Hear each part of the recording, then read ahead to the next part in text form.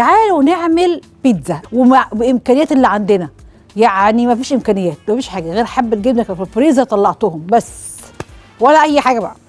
كوبايتين دقيق معلقتين لبن بودرة معلقة خميرة صغيرة رشة ملح ورشة سكر ومعلقتين من الزيت. لا يعني معلقتين من الزيت بس. معلقتين لبن بودرة كبار رشة ملح رشة سكر وخميرة. يلا بينا. كوبايتين دقيق. تالت. تالت وعاش بتسيب عليها كتير. كوبايتين من الدقيق رشة ملح ورشة سكر. يعني نص معلقة صغننة. معلقة خميرة صغيرة. معلقتين كبار من اللبن البودرة. ما عندكيش مش مهم. معلقتين من الزيت. عشان مش دايما اللبن البودرة موجود. ونعجن بمية. عايز تحطي معلقتين لبن حطي. مش عايزة برضو مش مهم. ممكن مية وخلاص. بس إحنا بنحسن طعمها وبنحسن طعم العجينة وبنحسن ان دي عاملة اللبن البودرة في في الدقيق عامل زي المحسن. إيه الحشوة اللي عندي؟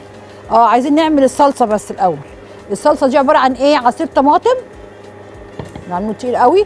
وتوم وزعتر وملح وفلفل وزيت. كله على بعضه على النار. أنا هعمل بيتزايه أو اتنين. ده عصير طماطم يعتبر اللي هو جاهز ده. عارفينه؟ اللي هو بصوص كده بقى في إزايز. طبعا بفضل الفريش عادي. لو موجود مش موجود مش مهم استعملي دوت. عليه توم مفروم على طول كده ني. عليه شوية زعتر.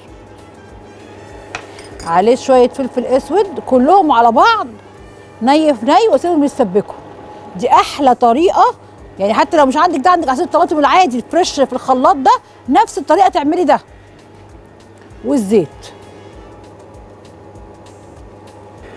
عملتيه بالعصير الطماطم اللي في الأزايز اللي بيتباع؟ ماشي.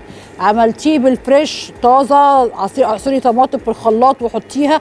كله كله نفس الطريقة دي. هتحطي التوم مع الزعتر مع الملح والفلفل وشوية الزيت. قطعت إيه العجينة على قد الصواني اللي أنا عايزاها. فأنا جبت صواني صغننة بحيث كل واحد دي صينية. طبعا لو الواحدة ال- الكوبايتين دي بيعملوا صينيتين كبار. اللي هي مقاس 28 30 فأنا جبت عملت أربعة صغيرين. ماشي؟ نفردها زي رغيف العيش.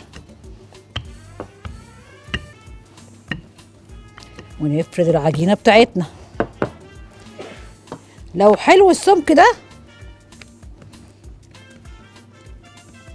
ماشي مش حلو زي ما انت عايزة بقى. بططي زي ما انت عايزة. أنا بتهيألي كده كويس.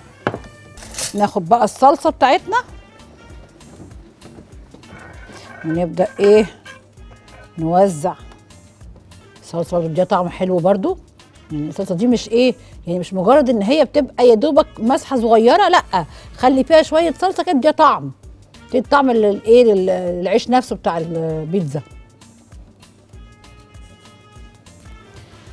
وبعدين نحط شوية. جبنة رومي جبنة شيدر الموجود عندك أي حاجة. وما تكتريش مبقاش حاجة حادقة. عايزة تكتري بس الموتزاريلا ماشي. هي دي اللي بنكترها ومش بنقلق منها. إنما رومي لأ الرومي لازم تبقى حاجة قليلة عشان هي تبقى حادقة. زيتون برضو مش كتير.